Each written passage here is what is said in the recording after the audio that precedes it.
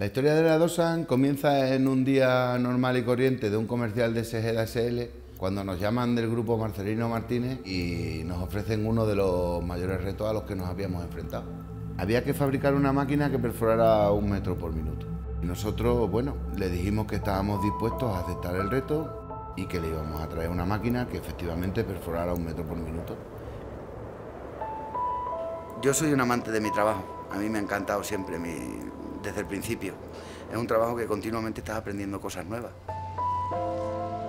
Otra cosa es el desafío de vender algo que no está hecho, que no solo nos han fabricado, sino que nunca se ha experimentado de fabricarlo ni siquiera. Es decir, no hay ni un modelo anterior en el que puedas decir, pues vamos a coger esto de guía, vamos a utilizar esto que ya... Nada, tienes que partir de cero. Y hombre, el reto es brutal, pero yo creo que eso es lo que nos mueve un poco también a nosotros como empresa.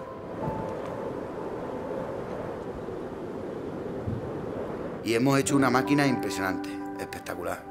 Y hemos hecho una máquina que estéticamente es brutal, que perfora como una bestia.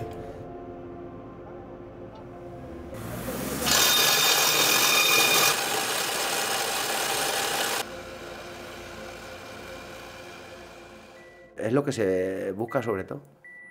El equilibrio entre una buena producción y fiabilidad para que la máquina no pare de trabajar.